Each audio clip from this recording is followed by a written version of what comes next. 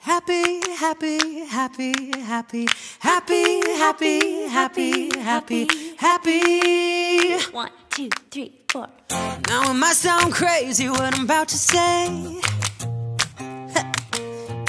Sunshine just here, you can take a break.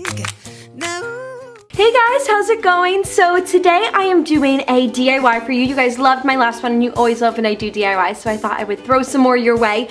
Today I'm going to be showing you my secret family recipe for homemade sweet tea. This has been my thing since I was little. My dad always made this for me and so I wanted to pass it on to you guys. And I'm also going to be showing you how you can make your own mason jar travel cup. It was really hard, I needed my dad's help, so I also sort of recommend just going to Walmart or Target and buying one because they make them now. But um, I still show you how you can do it if you feel like taking on the challenge. And if you choose to do any of these DIYs, don't forget to tweet me about it and send a picture with the hashtag DIY with PXB. And if you do, I will follow you and DM you and we can be pals, yay! So without further ado, let's go ahead and get into the video.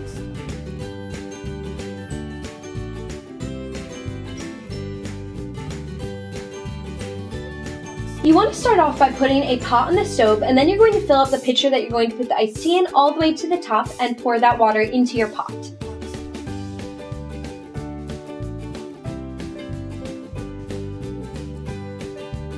Then you want to fill up your pitcher again, but this time only halfway and add that to your pot. This is going to help accommodate for any evaporation that's going to happen during the boiling process. Then all you have to do is turn your stove on and add a lid to your pot. It won't take very long to boil since this is a fairly small amount of water. So in the meantime, we're going to start taking our tea bags out of their little packets. I'm using three tea bags, but the amount that you are going to use can depend on how strong you like your tea and also how big your pitcher is. Mine is fairly small and I don't like my tea to be that strong, so three was plenty for me. And what I'm doing is I'm basically just putting them all together and then twisting them. That way they're all going to stay together when we put them in the pot. So once your water is boiling, you can go ahead and take the lid off and you're just going to start dunking your tea bags in there and after a few times you can just go ahead and drop them in. Now while we wait for our tea to brew, we're going to go ahead and fill up our pitcher all the way to the top with ice. This is going to help that boiling hot tea cool down really, really fast. This is always what I do when I want to be able to drink my tea pretty much immediately, and this always does the trick.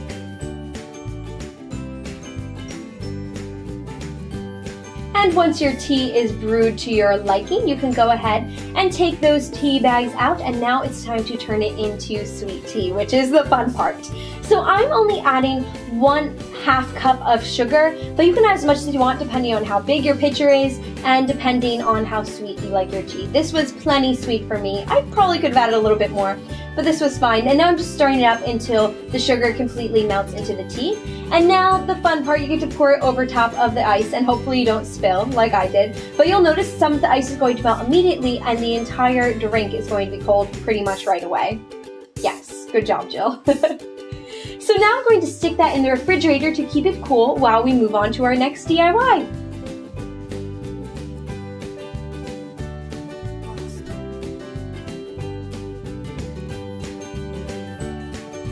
So you want to start off by just placing your O-ring in the center of the lid to your mason jar and tracing it, that way you know where the hole is going to be. And here comes the hard part. All right, Dad. Can you tell us what you're doing? You're just starting off with a smaller little Uh, yeah, a little pilot hole. Okay. That will make it easier for the larger bit because the large bit will just slide around. Right. Now I'm going to go slightly larger and then we'll get the real big one going. Oh boy. That's the plan. Uh-huh. Okay. Okay. And now, Look at this guy. He's pretty scary. it's very old also. And leaking oil. Ready? Ready? Holy moly, that was so scary. I hated that. I hated everything about it. Just try going at it one more time. Okay, please be careful. I'll be careful. I'm so nervous. Don't be nervous. That's probably the uh, the tip right there. So you go slow. Uh-huh. Um, the first time I went through and I didn't have anything to clamp it with, Right. You know, but if you go slow um, in just a short burst like that, it'll get through but won't go crazy on you. Okay, phew. So once you get that done, if you manage to get it done, you're just going to go ahead and glue your O-rings over the hole on both sides. So I'm just applying a little bit of glue. Try to do a fairly small amount because it does take a while to dry. And once you have the glue surrounding your hole, you're just going to go ahead and place your O-ring on and then you're going to repeat that on the other side.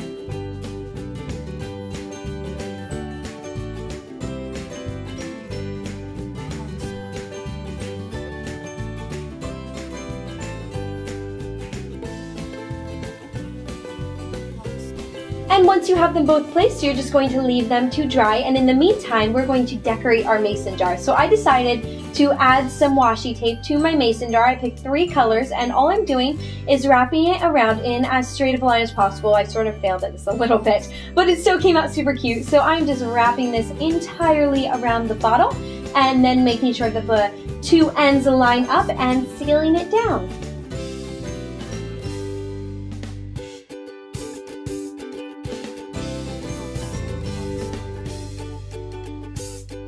Just repeated this step with two other colors. I absolutely love the way these colors all look together. It's so summery and bright and fun. And I think it just adds a really cool touch to your mason jar.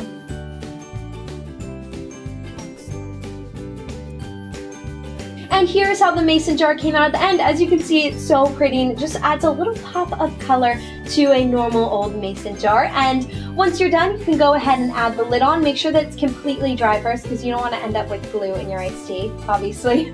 But once it is dry, you can go ahead and put the lid on and then add your straw and your mason jar to go cup is ready to go. And here are our two finished products together. Look at how pretty they both are. Just this combination reminds me so much of spring and summer, especially the iced tea. That's just such a summery thing for me. And so why don't we go ahead and fill up our mason jar. This mason jar that I used was actually huge and most of my iced tea fit right in there. I didn't have much left over. But that's okay, I just threw the mason jar in the refrigerator when I've had enough and saved it for next time.